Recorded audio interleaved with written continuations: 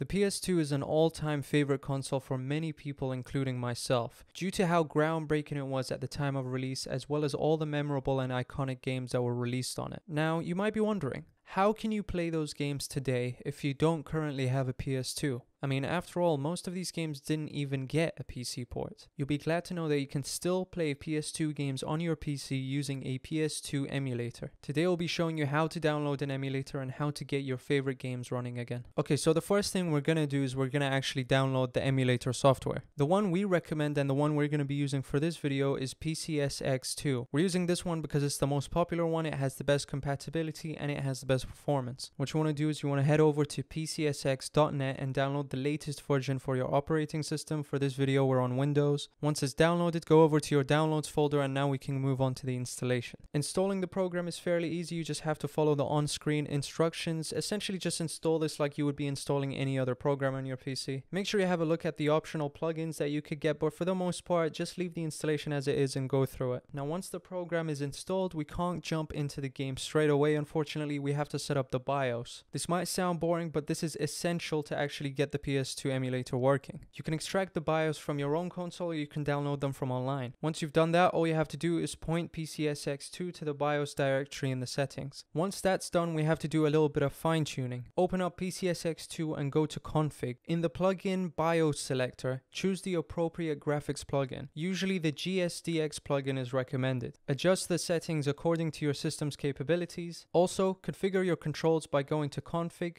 controllers, and map your keyboard or game controller buttons. And now the moment you're probably waiting for, which is loading the actual games onto the emulator. Now, if you actually have the original PS2 disc for the game that you're trying to play, you can actually insert this into your PC's DVD drive and mount it that way. Or alternatively, you're going to have to download an image file from an ISO website. Once you have the ISO for the game that you want to play, you're going to want to click on CDVD ISO selector and then you have to choose the ISO file that you downloaded. Now the game is actually mounted into your emulator. Next you're going to want to hit system and then boot CDVD fast. And at this point that's it pretty much. The game launches and you can actually play the game. If you've done everything right up until this point the game should run perfectly fine. Now to make your experience even better you could go and explore the settings in PCSX2. There is a ton of stuff that you can look at like upscaling graphics, enabling widescreen patches and even using cheats. And there you go. Now you can play your favorite PS2 games. If you enjoyed this video, make sure to leave a like, leave a comment on what you would like us to make a video about in the future. Thank you for watching. We'll see you in the next one.